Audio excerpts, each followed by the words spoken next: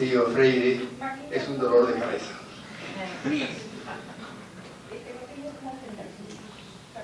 Porque desarrolla ideas y plantea cuestiones tan novedosas que determinan que el presentante tenga que ponerse a tono con ellas, saliéndose de los cauces tradicionales. En el presente caso, no obstante que hace siete años el doctor Castillo escribió un libro titulado Las doctrinas tradicionales frente a la contratación computarizada, en donde analizó el funcionamiento de las antiguas doctrinas sobre consentimiento, disentimiento, nulidad y anulabilidad en los contratos celebrados a través de medios informáticos, se lanza a una nueva aventura para contrastar lo tradicional y lo moderno en cuanto a la doctrina general del contrato, despejando muchas incógnitas y poniendo de manifiesto muchas realidades. Se convirtió así el doctor Castillo en un pionero de la aplicación de la informática al derecho contractual, descubriendo facetas que habían pasado desapercibidas y destacando problemas que era necesario resolver. El doctor Mario Castillo, con la coautoría del doctor Pierre Martín Horna, han actualizado con gran responsabilidad lo que el primero de ellos escribió en 1995, guiándonos serenamente por este laberinto de conceptos en los cuales sin esta guía habría sido fácil perdernos. El valioso mensaje que nos transmite los doctores Castillo y Horna mediante este nuevo libro puede sintetizarse en tres vertientes. El impacto de los medios electrónicos en las instituciones fundamentales de la teoría general del acto jurídico, tales como la nulidad y la anulabilidad, y de la teoría general del contrato, tales como el consentimiento y el disentimiento, el análisis mismo de tales medios electrónicos y el funcionamiento de las doctrinas tradicionales relativas al consentimiento en los contratos celebrados a través de medios electrónicos. Cada uno de estos temas es estudiado con exquisito cuidado, prácticamente deshojando idea tras idea para llegar al fondo del análisis. Debo confesar que mi cultura electrónica, que deseaba, dejaba algo de desear, ha aumentado considerablemente con la lectura de este libro. Por otro lado, hay que reconocer que la aparición de la informática ha causado un impacto tremendo, llegándose a creer que todo lo ha trastornado y que por ello todo hay que adecuarlo a este nuevo fenómeno. Es así como se ha creído necesario, entre nosotros, dictar una serie de normas jurídicas destinadas a regular la aplicación de la informática a múltiples aspectos de la actividad humana. Los doctores Castillo y Orja dan una campanada de alerta sobre la prudencia con que hay que actuar para no incurrir en modificaciones innecesarias. Tal es el caso de la ley número 27291, que modifica el artículo 141 del Código Civil en los términos siguientes. Artículo 141. La manifestación de voluntad puede ser expresa o tácita.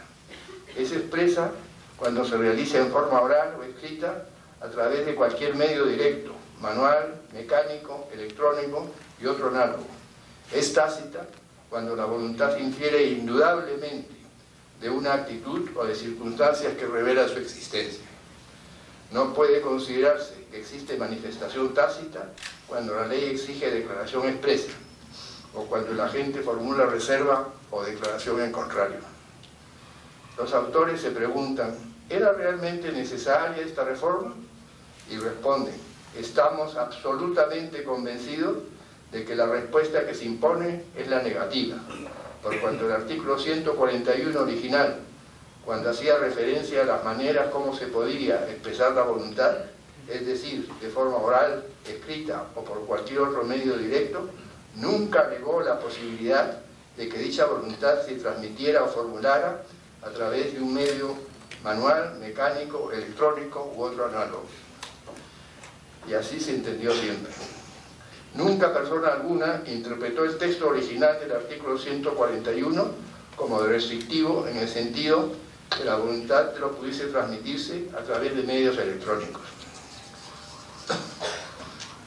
El agregado al cual estamos haciendo referencia es absolutamente inútil, pues en él los reformadores del Código Civil intentaron traducir innovaciones tecnológicas que no era necesario incluir en la norma, desconociendo que el Código Civil, en redacción simple y previsora, ya contemplaba todas estas situaciones, sin necesidad de que se intentase convertir a dicho cuerpo legal en una especie de defectuoso manual, manual científico.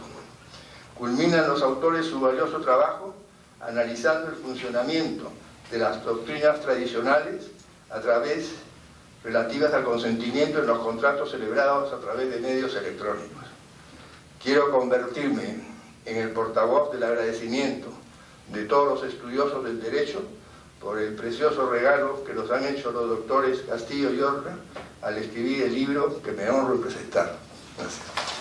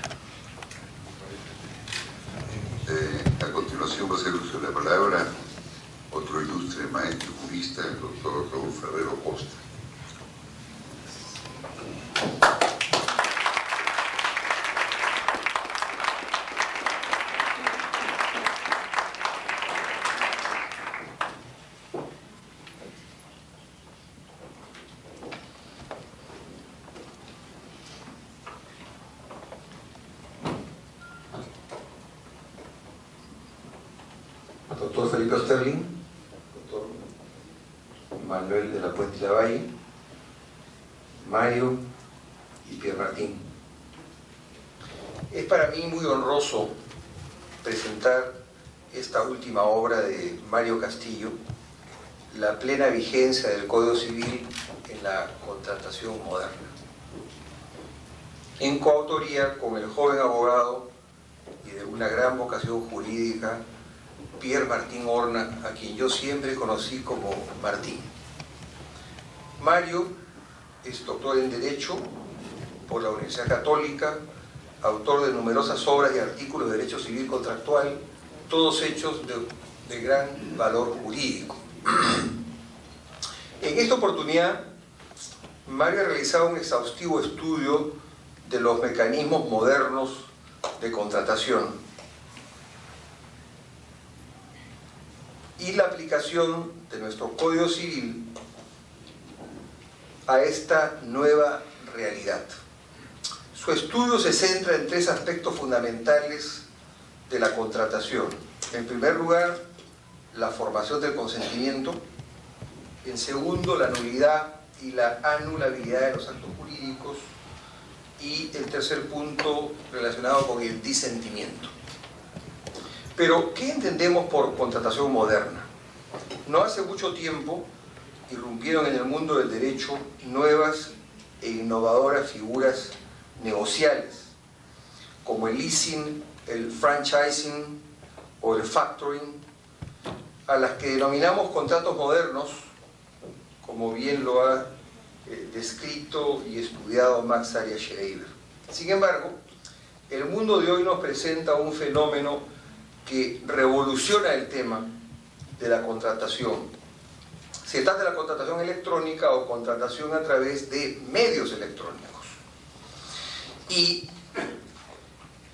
en qué consiste la contratación electrónica propiamente? Siguiendo la definición de contrato contenida en el artículo 1351 del Código Civil, la contratación electrónica consiste en aquellos acuerdos de dos o más partes para crear, regular, modificar o extinguir una relación jurídica patrimonial, pero que se celebran a través de medios de comunicación electrónicos o informáticos. Entonces, ¿cuáles son estos medios de comunicación electrónicos o informáticos? Los autores de la obra en un lenguaje sencillo, pero claro, nos explican cómo operan cada uno de estos medios. Encontramos los contratos celebrados por teléfono, los contratos celebrados a través de la contestadora automática de llamadas, a través de facsímil, mediante el PIPER o sistema busca personas, o a través de máquinas de expendio automático. Asimismo, los autores analizan aquellos contratos celebrados a través de las computadoras e Internet, que se constituye como el medio tecnológico que más ha revolucionado nuestra sociedad en los últimos 10 años y en el principal soporte tecnológico a través del cual se ejecuta el denominado comercio electrónico o e-commerce. Dicha modalidad comercial opera con la contratación celebrada a través de computadores que funcionan como terminales conectados entre sí y a través del empleo del correo electrónico o email. El surgimiento de estos nuevos mecanismos de contratación constituye una verdadera revolución en el campo de las transacciones comerciales. Estamos viviendo una nueva era, la era de la globalización, donde las distancias se estrechan y la comunicación se hace más rápida y fluida. El derecho, por tanto, no puede dejar de reconocer esta realidad y debe ajustar los conceptos y categorías jurídicas tradicionales a este nuevo fenómeno que nos toca enfrentar. La evolución en materia de telecomunicaciones y uso de Internet nos ayuda a comprender por qué cada día es más importante el conocimiento y estudio de la informática. Internet nos ofrece hoy en día posibilidades de realizar transacciones comerciales de una manera cómoda, rápida e incluso más económica. En el ámbito mundial, el crecimiento de Internet es un fenómeno extraordinario. Según las estadísticas que hemos podido recoger, la red ha pasado de 213 computadoras centrales a varios miles de usuarios en agosto de 1981. Y de agosto del 81 a más de 86 millones de Internet o centros de Internet en julio de 1999, que dan cobertura a un número estimado de 190 millones de usuarios. Y probablemente cuando estamos citando estas cifras, estamos muy lejos de las cifras reales del mundo de hoy en el 2002. En el Perú, OCIPTEL estimaba que en el año 1999 el número de usuarios de Internet en el país bordeaba los 500.000 a la fecha, estimamos que el uso de Internet fácilmente podía verse triplicado por lo menos. El comercio electrónico a través de Internet está transformando la vida de las empresas y de los consumidores tradicionales. Según se ha estimado, las ventas a través de Internet ascendieron a 43 mil millones de dólares en 1998 y han ido creciendo vertiginosamente año a año. La importancia de este estudio de Mario Castillo y de Pierre Martín Horna radica entonces en la potencialidad que el Internet y el comercio electrónico nos ofrecen como medios rápidos, económicos, seguros, a tal punto que en la, en la actualidad nos es difícil pensar en un bien que no pueda ser comercializado a través de los medios electrónicos. Todos los días compramos libros a través de los medios electrónicos. Estas nuevas modalidades comerciales y contractuales merecen toda nuestra atención a fin de que podamos desarrollar los mecanismos necesarios para la prevención y solución de los conflictos que se puedan generar en el empleo de dichos medios tecnológicos. Como señalan los autores, esta revolución virtual podría implicar una redefinición en el ámbito del derecho de las tradicionales nociones de jurisdicción y competencia, conceptos tan discutidos en derecho procesal como en derecho constitucional, dado que éstas serían conceptualmente inadecuadas dentro del marco del ciberespacio, dicen los autores, y la globalización de la sociedad de la información. Agregan además, en el ámbito político y social se impone una redefinición del rol del Estado y del protagonismo privado. Había cuenta que Internet y sus aristas, señalan, por definición representan la debilidad del Estado como tradicionalmente se le ha concebido. Esta obra pues nos lleva a comprender la compleja organización que supone la celebración de un contrato por la vía electrónica. Existe una parte que emite una declaración de voluntad, una parte que la recibe, y existe la red telemática, un sujeto que opera la red y un sujeto propietario de la red, y así seguidamente. Por ello, es así como los contratos celebrados a través de medios electrónicos han dado lugar al surgimiento de todo un campo de estudio y análisis para juristas, abogados y estudiosos del derecho. El primer tema del que se ocupa eh, el libro de los autores que he señalado es el relativo a la formación del consentimiento. De acuerdo al artículo 1373 del Código Civil, el contrato queda celebrado en el momento y lugar en que la aceptación es conocida por el oferente. Este artículo recoge la teoría de la cognición, de acuerdo con la cual el contrato queda perfeccionado en el momento en que el oferente conoce la aceptación. Sin embargo, nuestro Código Civil establece una presunción de conocimiento. Conforme al artículo siguiente, al 1374, la oferta, su revocación, la aceptación y cualquier otra declaración contractual dirigida a determinada persona se consideran conocidas en el momento en que llegan a la dirección del destinatario, a no ser que éste pruebe haberse encontrado sin su culpa en la imposibilidad de conocerla. A través de esta presunción nuestro código se adhiere también a la teoría de la recepción con respecto a la contratación celebrada entre ausentes, a través de la cual todo contrato queda perfeccionado en el momento en que el oferente recibe la aceptación. En esta obra, Mario y Pierre Martín realizan un análisis muy detallado de cada uno de los mecanismos de contratación por medios electrónicos a la luz de cada una de las teorías sobre el perfeccionamiento de los contratos. Si bien nuestro código recoge las teorías de la cognición y la recepción, en esta obra encontramos también un amplio estudio sobre la contratación a la luz de las teorías de la declaración y de la expedición. Nos ha parecido un tema muy interesante el de la formación del contrato paritario en la contratación empresa-empresa, business to business, celebrada a través de medios electrónicos.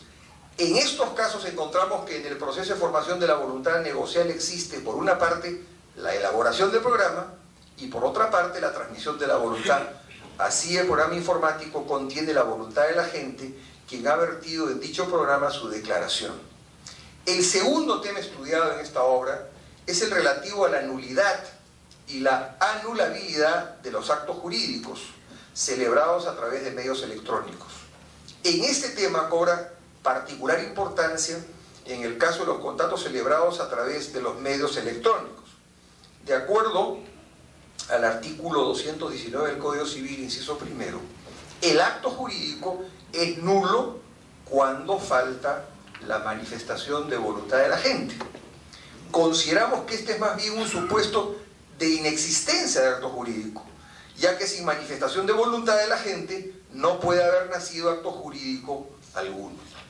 En este punto, Mario y Pierre realiza un análisis de cada uno de los supuestos de nulidad y anulabilidad del acto jurídico y su aplicación a cada uno de los mecanismos electrónicos de la contratación. Un tema relevante nos ha parecido el de los contratos celebrados a través de medios electrónicos por menores de edad, conforme al artículo 219, inciso 2 del Código Civil, el acto jurídico celebrado por quienes son incapaces absolutos es nulo, salvo el caso de incapaces no privados de discernimiento que contraten respecto a los actos de su vida diaria. Para todos es conocido que son los niños y los adolescentes sobre todo de hoy los que mayor conocimiento tienen del manejo de los medios electrónicos y en la vida diaria, y por supuesto ellos no están ajenos a la posibilidad de contratar a través de estos mecanismos y esto no se ha contemplado aún. Otro tema interesante analizar es el caso de la anulabilidad del acto jurídico, por error, ya que el uso de medios electrónicos puede llevarnos en algunas oportunidades al vicio de nuestra voluntad, sobre todo para quienes no tenemos mucha experiencia en el uso de las computadoras, entre ellos me encuentro yo, o para las personas que no tengan dominio del idioma inglés, el cual tiene mucho o demasiado protagonismo en el empleo de estas nuevas tecnologías. Todas estas interrogantes y muchas otras se encuentran muy ligadas al tema del disentimiento, el cual es analizado en detalle por los autores. Como sabemos, el disentimiento o disenso consiste en la falta involuntaria de coincidencia entre la oferta y la aceptación. El disentimiento es manifiesto cuando ambas partes conocen que no hay coincidencia absoluta entre oferta o aceptación mientras será oculto o latente cuando las partes crean haber llegado a una coincidencia entre oferta y aceptación, pero en realidad esta no se ha producido. Nuestra legislación no se ha encontrado ajena a todas estas innovaciones en la tecnología moderna. En mayo y junio del año 2000 se editaron las leyes 27269, señalada y citada ya por el doctor de la Puente, y la 27291 respectivamente, regulando las firmas y certificados digitales y modificando el Código Civil a fin de permitir la utilización de los medios electrónicos para la comunicación de la manifestación de la voluntad, así como la utilización de la firma electrónica. La aplicación de dichos dispositivos se ha viabilizado con la publicación del reglamento de la Ley de Firmas y Certificados Digitales en mayo de este año. Estas iniciativas no agotan las modificaciones que requiere nuestro ordenamiento jurídico para adaptarse a las innovaciones que presentan Internet y las comunicaciones electrónicas.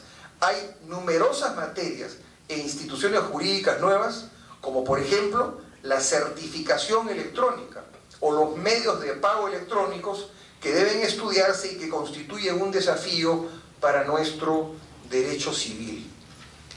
En cuanto a temas contractuales, Cabe destacar la necesidad de regulación en cuanto a la responsabilidad civil por el mal funcionamiento de los sistemas electrónicos de transmisión de la información, la prueba de las declaraciones emitidas por vía electrónica, el cumplimiento de las obligaciones asumidas por medios electrónicos y así sucesivamente.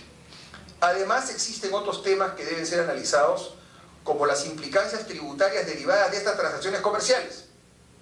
La SUNAT se queja mucho de todo esto las consecuencias en el campo penal, en el caso de comisión de delitos informáticos, que los hay y hemos visto hasta redes de corrupción de menores a través de estos medios, y los derechos del consumidor y de la propiedad intelectual. Nuestro derecho debe adecuarse y responder a los cambios tecnológicos que están ocurriendo a diario en el mundo, a efecto de poder cumplir con su función reguladora y ordenadora de conductas en la sociedad. Debemos crear una conciencia para regular estos nuevos fenómenos que aumentan vertiginosamente tanto a nivel nacional como internacional. Y por crear incentivos para la práctica del comercio electrónico, toda vez que en la actualidad existen una serie de obstáculos legales, económicos, sociales, que impiden su implementación. Felicito muy sinceramente a Mario Castillo y a su joven colaborador eh, Pierre Martín Horna, por este gran esfuerzo que ha resultado un aporte jurídico invalorable a nuestra bibliografía nacional. En suma, este trabajo constituye una herramienta muy útil para la actividad profesional y para la actividad de aquellos operadores del derecho y de sus estudiosos. Mis más sinceras felicitaciones y muchas gracias por haberme permitido participar en este acto de presentación con tan ilustres profesores del derecho con quienes comparto esta mesa. Muchas gracias.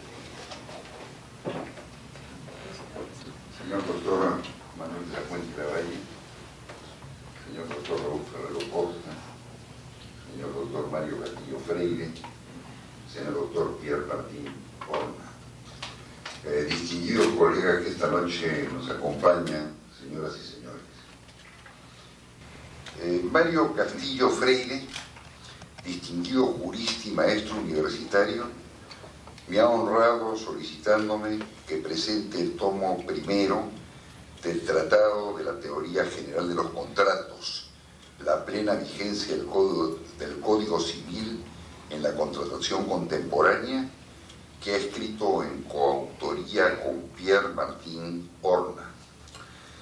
Este pedido de Mario Castillo tiene para mí profunda significación, ya que nuestra alma mater, la Pontificia Universidad Católica del Perú, nos es común, pues en esos claustros fue mi alumno y hoy en esos mismos claustros compartimos similares inquietudes académicas desde la Cátedra de Derecho de Obligaciones.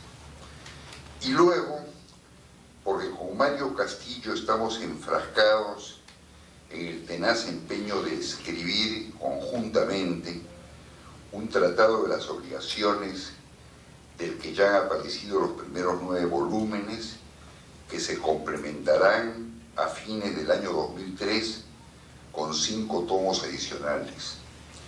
La preparación del tratado determina entrevistas cotidianas entre Mario Castillo y quien hace uso de la palabra, lo que me permite apreciar muy de cerca la formación de un gran jurista, su singular agudeza intelectual y sus altas calidades humanas. Mario Castillo, no obstante su juventud, es un maestro por excelencia. Su vocación la vuelca en las cátedras universitarias de su cargo sobre derecho de obligaciones y fuentes de las obligaciones, y una prolífica producción jurídica. Su especialidad la ha enrumbado fundamentalmente por las obligaciones y los contratos, materias íntimamente vinculadas.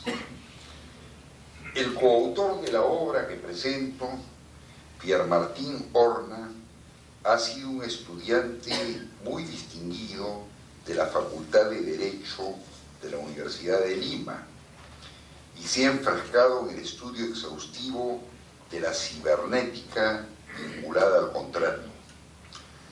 Prueba de ello es su excelente tesis La formación del contrato celebrado a través de medios electrónicos en el Perú, que elaboró para optar el título de abogado hace aproximadamente un año y luego los numerosos artículos que ha publicado vinculados al mismo tema. En adición a ello, ha seguido estudios de posgrado en el extranjero y proyecta continuar esos estudios próximamente.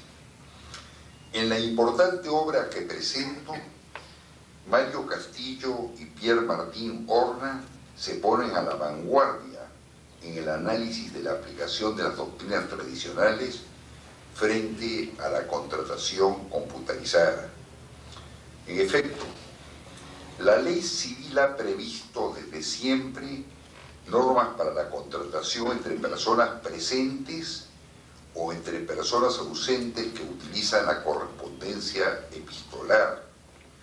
Luego, con los adelantos de la ciencia, nos hemos familiarizado con la contratación por otros medios, tales como el teléfono o el telegrama. Pero los códigos civiles, aún los más modernos, no, analizan ni proponen soluciones a la contratación computarizada. El propio Código Civil Peruano de 1984, ley moderna y de vanguardia en materia contractual, no prevé esta forma de contratación. De lo que se trata entonces es de aplicar las doctrinas tradicionales, aquellas recogidas por los antiguos y nuevos códigos civiles, a una realidad que, a través de los enormes avances tecnológicos, evoluciona día a día. Hemos dicho que la ley civil, con su sistema de formación del consentimiento, no nos provee de normas que se apliquen a la contratación computarizada. Entonces, me pregunto, ¿cómo se solucionan los problemas de la de la nulidad y de la anulabilidad del acto jurídico con las leyes civiles que nos rigen en la contratación computarizada? ¿Cómo opera el disentimiento a través de medios informáticos? Estos temas y otros de los que trata con plenitud la obra que presento son apasionantes y complejos.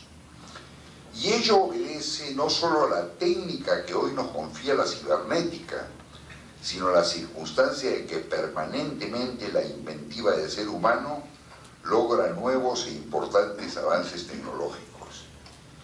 Mario Castillo y Pierre Martín Horna, en la obra que presento, encuentran y sustentan soluciones para materias tan complejas. Como dice José María Álvarez Cienfuegos Suárez, la masificación de las relaciones comerciales, unida a la posibilidad de transmisión a distancia de una declaración de voluntad, han facilitado el acercamiento entre el derecho y las nuevas tecnologías y agrega que por tal razón, en muchas ocasiones los conceptos jurídicos tradicionales resultan poco idóneos para interpretar las realidades que hoy confrontamos, encontrando el jurista verdadera dificultad para adaptar la ley y la jurisprudencia a los cambios tecnológicos.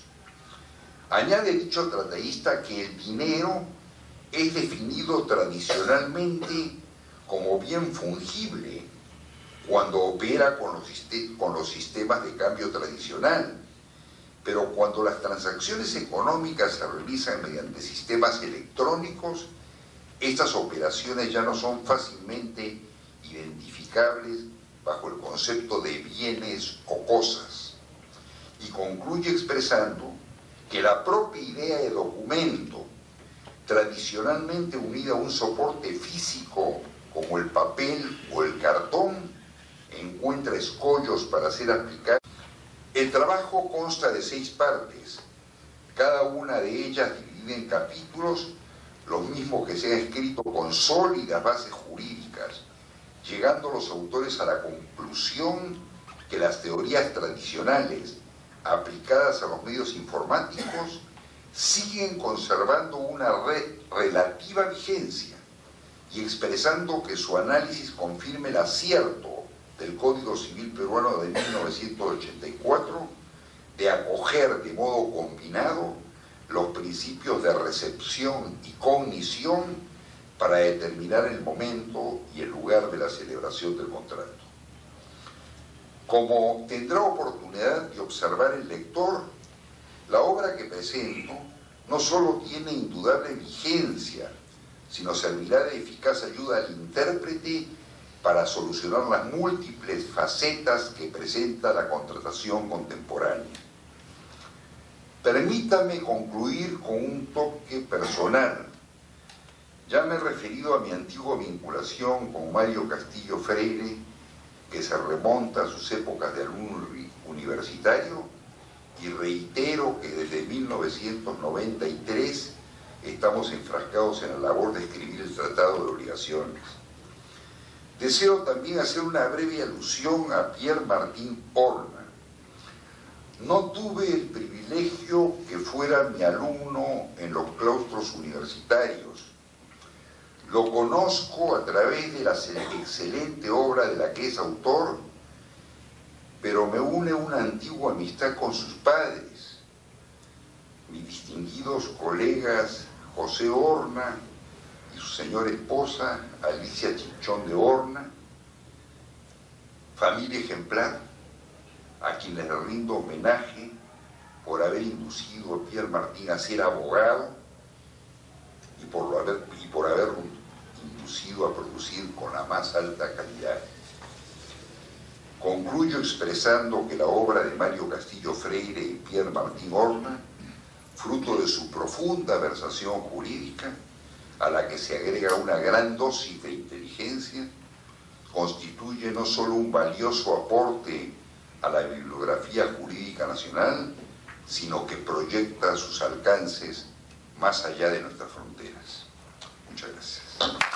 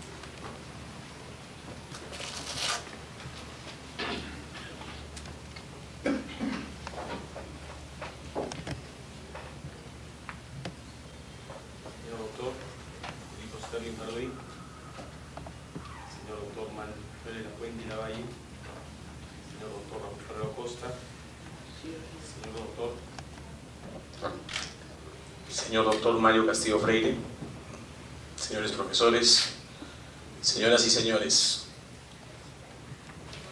En primer término, quisiera agradecer a los maestros del derecho civil peruano que nos han honrado al presentar el primer tomo del Tratado de la Teoría General de los Contratos, titulado La plena vigencia del Código Civil en la contratación contemporánea. La búsqueda incesante por encontrar las fórmulas que aseguren al hombre la dignidad de una vida en la que se conjuguen los adelantos científicos y los tecnológicos y la realización plena de los valores espirituales, conciliando la libertad, el orden, la paz, la seguridad y el bienestar, ha sido en el fondo el menester de esta obra que con mucho entusiasmo el doctor Mario Castillo Freire y yo hemos preparado, gracias a quien logro por primera vez publicar un libro que representa la primera investigación de mi vida académica. Agradezco también al Fondo Editorial de la Pontificia Universidad Católica del Perú, que ha hecho realidad tal proyecto que hoy lo presentamos a un selecto público. No quisiera proseguir con mi intervención sin antes lamentar la ausencia del doctor Carlos Cárdenas Quirós, quien se encuentra en el extranjero puesto que él me apoyó profundamente en la realización de mi tesis de abogado, aporte personal en la obra colectiva. En segundo lugar, y sin ánimo de explayarme, quisiera compartir con ustedes algunos hechos muy importantes que determinaron la consecución del presente proyecto. En 1998, año que inicié la mencionada tesis sobre la contratación celebrada a través de medios electrónicos en el Perú, tuve el honor de conocer personalmente al doctor Mario Castillo Freire, en donde pudimos intercambiar sendas opiniones y puntos de vista en relación a la obra que el doctor había publicado en 1996. Investigación que fue trascendente para iniciar mi propia confirmación acerca de la vigencia del Código Civil peruano frente a la contratación contemporánea. Acto seguido, pudimos coincidir en muchos de los postulados que gobiernan este tipo de contratación. Aún a pesar de los años transcurridos desde 1996 y el incesante desarrollo de las tecnologías de la información de dicha época. Es así que en 1999 surgió la idea de postular nuevas luces para la contratación por medios electrónicos, demostrando la plena vigencia del Código Civil, como parte del derecho sustantivo que soporta tal contratación. Finalmente, en septiembre de 2001, susteté la investigación y el camino para completar este gran proyecto con el doctor Mario Castillo Freire estaba empezando a ser realidad. En esas circunstancias se reanudó el proyecto que importaba el trabajo incesante para cumplir ciertos objetivos. Así, en mi permanencia en Inglaterra pude comprobar y confirmar ciertos postulados esgrimidos en mi tesis y que finalmente pudieron ser coordinados con el punto de vista del doctor Mario Castillo Freire. Al retornar al país, recibimos la muy grata noticia que el fondo editorial había decidido plasmar un proyecto de mayor envergadura, en donde la obra que estaba a punto de concretarse iba a formar parte de un tratado, que en la prontitud de mi partida nuevamente para el viejo continente me veo honrado de todos ustedes y compartir estas vivencias en la presentación de nuestra obra. Pues bien, dicho esto, comentaré algunas de las motivaciones de la presente obra, que en general responde a un afán de reivindicación de los principios generales de la contratación frente a algo sumamente innovador y que ha significado el cambio de numerosas estructuras sociales, económicas, políticas y en algunos casos, y en este se asevera, que tenga consecuencias jurídicas de considerable influencia. Vivimos un tiempo de cambios, pero para tener una idea cabal del derecho contractual de nuestros días, es necesario hacer la retrospección del pasado, no ciertamente como expresa Halleck, para buscar soluciones que en él no pueden hallarse, sino ciertos criterios luminosos indispensables para comprender las circunstancias en que se vive y realizar sus valores plenamente. Actualmente, nadie puede dudar que vivimos en un mundo que está renovando sin cesar ante nuestros ojos que permite afirmar que lo único de carácter absoluto en la historia es el cambio.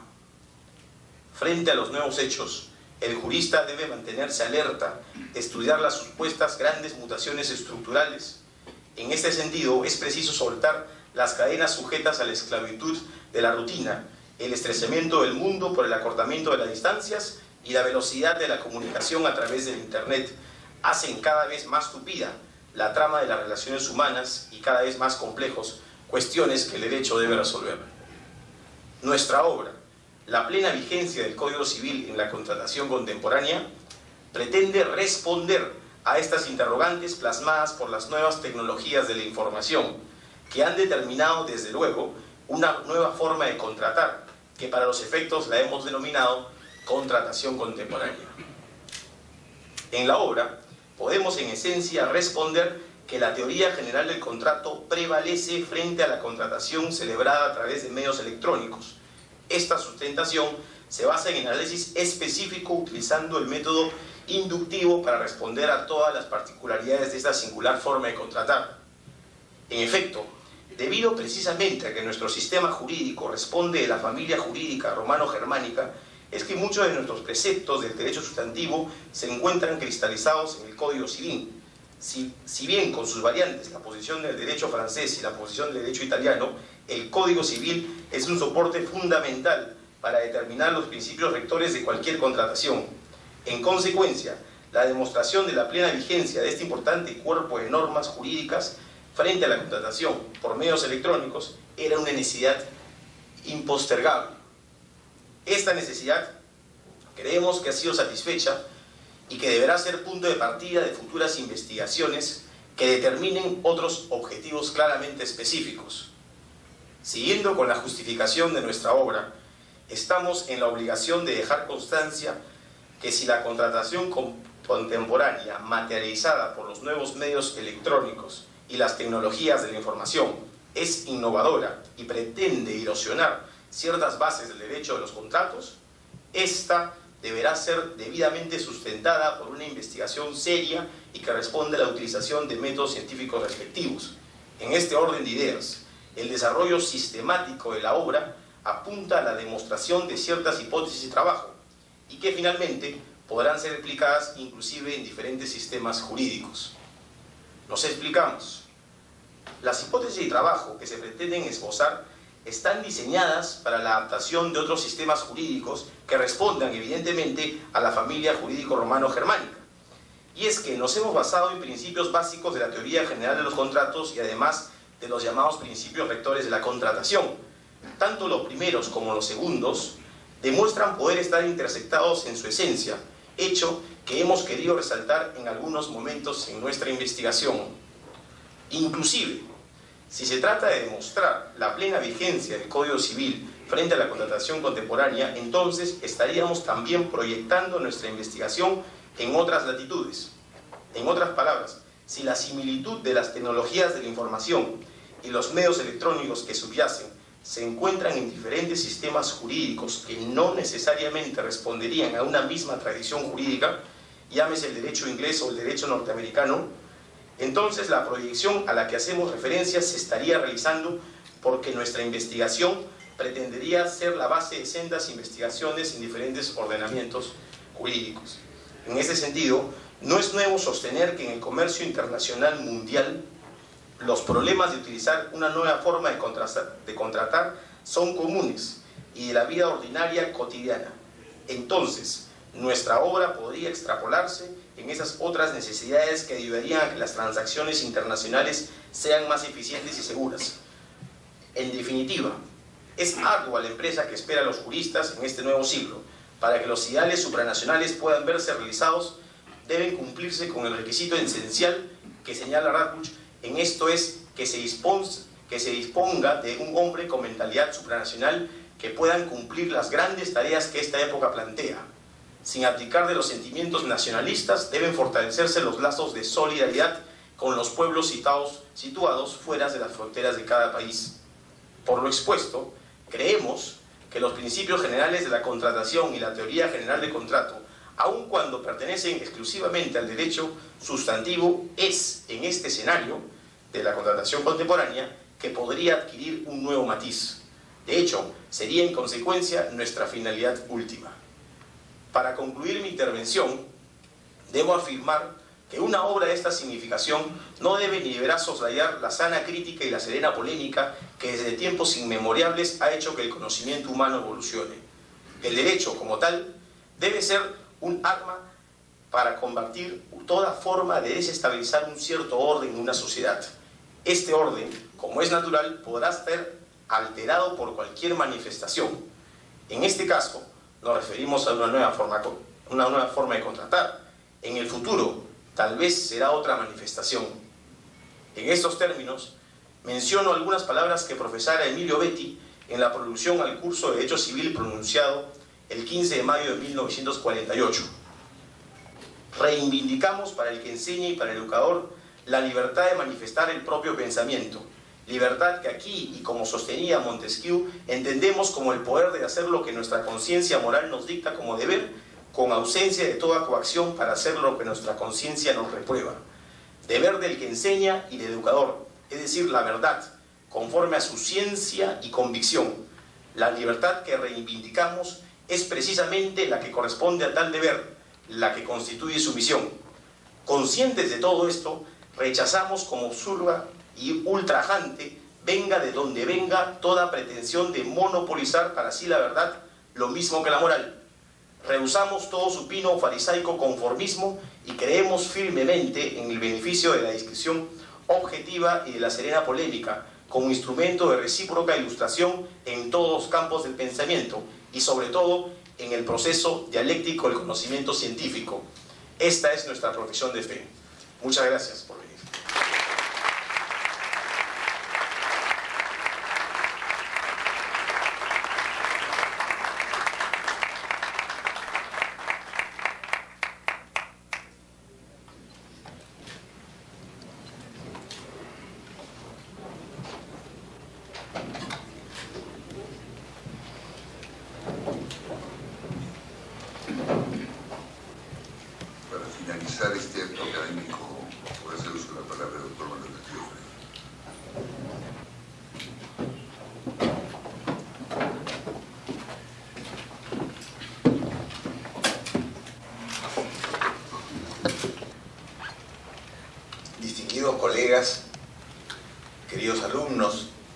Apreciados amigos señoras, señores. En primer término, debo agradecer profundamente las generosas expresiones que han vertido sobre la obra y sobre mi persona quienes me han antecedido en el uso de la palabra. Es para mí muy grato contar con la presencia de todos ustedes en esta ocasión en la que presentamos el tomo 1 de una nueva obra que hemos emprendido con el siempre presente apoyo del Fondo Editorial de la Universidad Católica. En esta oportunidad se trata de un volumen escrito en coautoría con el notable joven académico y abogado Pierre Martín Horna, cuya tesis elaborada para optar, para optar el título de abogado versó sobre la contratación electrónica, tema que coincidió en muchos aspectos con mis posiciones sostenidas desde 1995. En efecto, hace siete años desarrollé la investigación titulada Las doctrinas tradicionales frente a la contratación computarizada, en donde analizaba el funcionamiento de las antiguas doctrinas sobre consentimiento, nulidad, anulabilidad y disentimiento en los contratos celebrados a través de medios informáticos. Dicha investigación fue publicada un año más tarde, en agosto de 1996, constituyendo el tercer volumen de la Biblioteca de Derecho Contemporáneo del Fondo Editorial de la Universidad Católica. Cuando escribí y luego publiqué dicha obra, pensé que estaba destinada a ser, de todas las que había escrito, la que tuviese una menor vigencia temporal, creyendo que, por la naturaleza de los temas abordados y el avance tecnológico que iba a tener la contratación computarizada, especialmente en lo que respecta al Internet, su contenido quedaría desactualizado rápidamente. Sin embargo, ello no fue así, ya que la referida obra, el primer libro que sobre la materia se haya escrito y publicado en el Perú, sirvió de base para el estudio de todos aquellos a quienes ha interesado ingresar a la investigación de un tema tan fascinante como es el de contrastar lo tradicional y lo moderno en cuanto a la teoría general del contrato.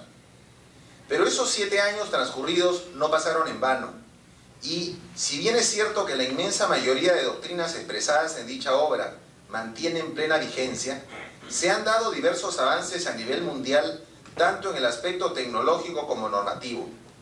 Además, se han introducido algunas reformas al Código Civil peruano, especialmente en lo que respecta a la contratación por Internet.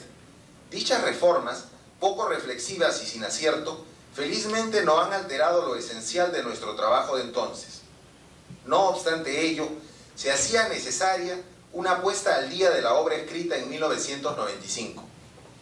Quise emprender esta labor hace ya algunos años, pero recién logré hacerlo en el 2001 con la valiosa participación de Pierre Martín Horna Chichón, un apasionado por el derecho y la informática. Así, con su ayuda y poniéndonos de acuerdo acerca de nuestros particulares puntos de vista, hemos logrado actualizar la obra original, a tal punto que ésta constituye una obra diferente. Por ello, no vacilé en considerarlo coautor, pues tal condición le corresponde, con holgura, por mérito propio. Pero como podrán apreciar los presentes, este libro, titulado La plena vigencia del Código Civil en la contratación contemporánea, constituye solo el primer tomo de una obra mayor que lleva por nombre Tratado de la Teoría General de los Contratos, en cuyos futuros volúmenes de próxima aparición efectúo un análisis exegético de la sección primera del libro séptimo del Código Civil peruano. Espero contar con la participación de Pierre Horna en más de uno de ellos. Para quien habla, esta labor representa todo un reto, pues luego de llegar a la convicción personal de que la parte general de contratos del Código Civil conserva plena vigencia en el siglo XXI, estimé que lo que me correspondía era estudiar su aplicación norma por norma, a la luz de la realidad del Perú contemporáneo y fiel a la línea trazada hace ya 19 años por la Biblioteca para leer el Código Civil. Quisiera referirme a la motivación y futuros alcances del Tratado de la Teoría General de los Contratos. Desde 1986, cuando empecé a escribir mis primeros estudios sobre el contrato de compra-venta, y luego desde 1993, cuando emprendí la tarea de ingresar al mundo del derecho de obligaciones, junto a mi maestro y amigo de siempre, el señor doctor Felipe Osterling Parodi, aquí presente, sentí la necesidad de profundizar en el análisis de esas materias. Siempre fui de la idea que al Código Civil de 1984 había que entenderlo antes que criticarlo y que había que estudiarlo antes que plantear modificaciones al mismo. Es en tal virtud que en el año 2001 inicié el estudio de los demás contratos típicos regulados por el referido código en la obra Tratado de los Contratos Típicos, cuyo primer volumen fue publicado por el Fondo Editorial en abril del presente año. Pero, como puede apreciarse, las materias que habían sido objeto de mis estudios presentaban un gran vacío, y era el referido al análisis de la parte general del libro de fuentes de las obligaciones del Código Civil. La razón por la cual no ingresé anteriormente al estudio de estos temas se basó en el hecho de que los mismos ya habían sido abordados de manera excelente por quien fuera mi profesor de esa materia en la Universidad Católica, mi directo amigo, el doctor Manuel de la Puente y Lavalle. Digo esto ya que de la Puente ha publicado tres obras sobre el particular.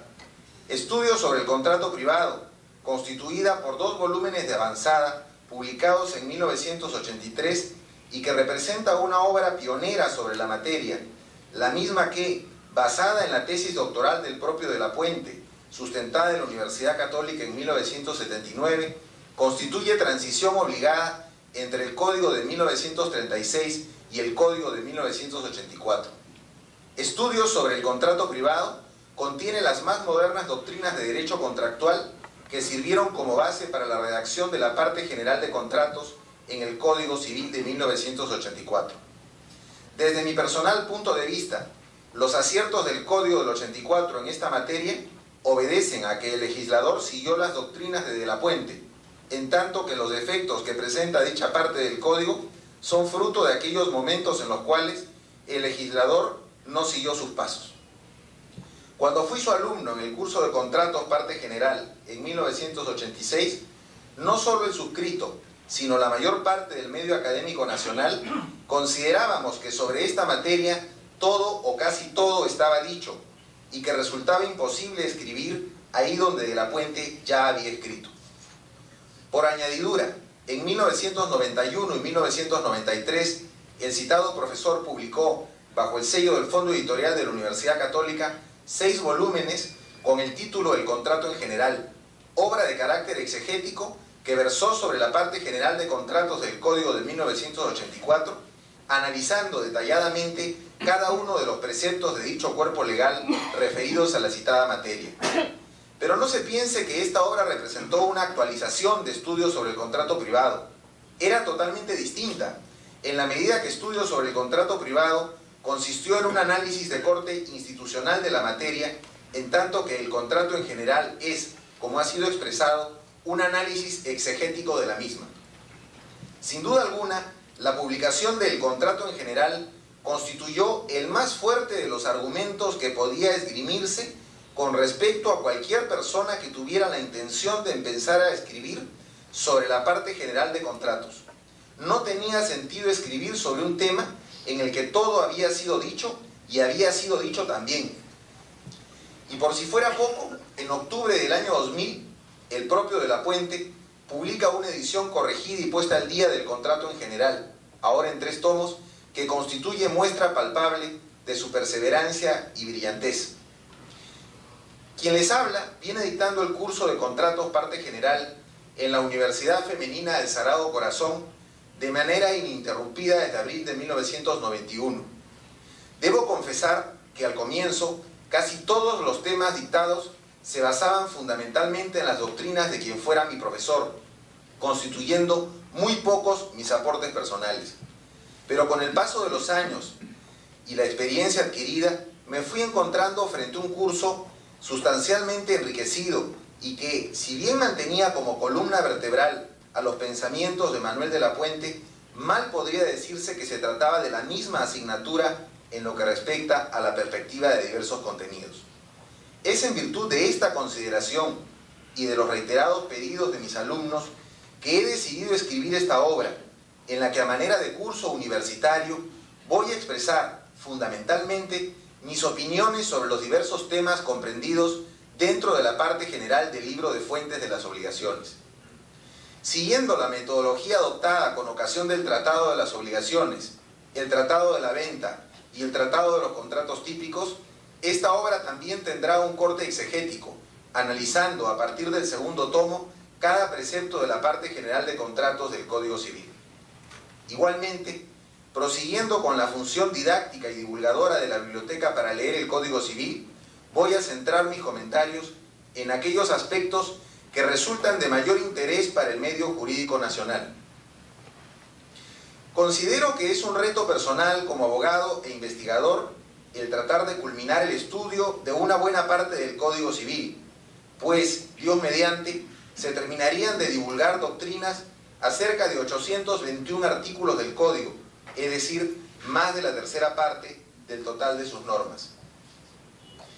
Antes de finalizar estas palabras, quiero expresar algo sobre lo que he venido meditando esta última semana. Se trata de la razón por la cual sigo escribiendo sobre derecho. Debo confesar que ello se ha constituido para mí en una pasión absolutamente irrefrenable, siendo mucho más que un hobby o un entretenimiento. No podría dejar de investigar a la par que ejercer la profesión de abogado y la labor docente. Así pues, son tres los pilares en los que se asienta mi vida profesional. Creo, además, que en el Perú resulta necesario y hasta imprescindible navegar contra la corriente. Contra esa corriente llena de voces irresponsables que quieren derogar y modificar toda nuestra legislación civil, imbuidos de una enorme deshumanización y un liberalismo económico a ultranza y creyéndose dueños y señores de la verdad absoluta. Frente a posiciones extremas e irresponsables, estimo que la labor de un profesor universitario es demostrar, por escrito, cuán equivocados están quienes creen que el mundo moderno implica olvidarnos de las instituciones jurídicas más sólidas. Para eso existe la palabra no, para ser dicha y repetida en voz alta frente al protagonismo y a los egoístas intereses personales. Por eso, Siempre he compartido la ponderación y la tolerancia personal y académica que caracteriza a los profesores que me acompañan, así como la de mi coautor en este primer tomo del Tratado de la Teoría General de los Contratos, ya que a pesar de su notoria juventud, pues solo tiene 24 años, Pirorna es un joven valor del derecho nacional que representa mucho, no solo en el campo académico y profesional, sino como ser humano, pues a pesar del éxito que viene teniendo, es muy permeable en torno a las opiniones ajenas, cualidad indispensable no solo en un profesional, sino en toda persona decente. Termino reiterando a todos los presentes mi infinita gratitud por compartir con nosotros estos momentos de profunda alegría, sobre todo por contar con ustedes, nuestros amigos de siempre. Muchas gracias.